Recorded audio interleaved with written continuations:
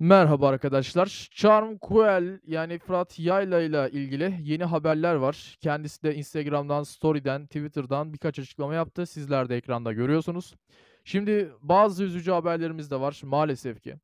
Eee, Fırat yani Charm Coel eee, maalesef annesini enkaz altında kaybetti. Yani yaklaşık zaten bunu açıklayalı bir buçuk iki gün oldu. Tabii ki biz bu videoyu çok isteyerek de çekmiyoruz onu da söyleyelim ama eee, sizler de soruyorsunuz son durumuyla alakalı ve zaten siz de görüyorsunuz.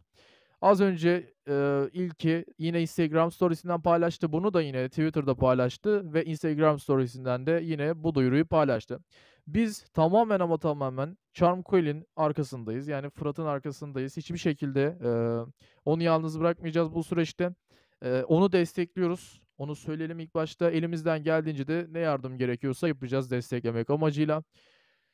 Bu konuda çok haklı Coil. Zaten sizler okuyorsunuz. Ben hiç okumak istemiyorum.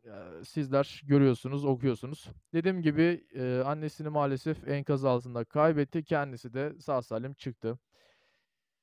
Diyecek pek bir şey yok diye düşünüyorum.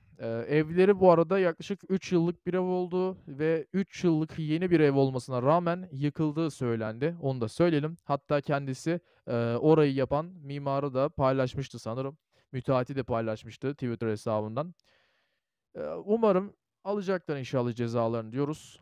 Kendinize çok iyi bakın. Sağlıcakla kalın. Görüşürüz.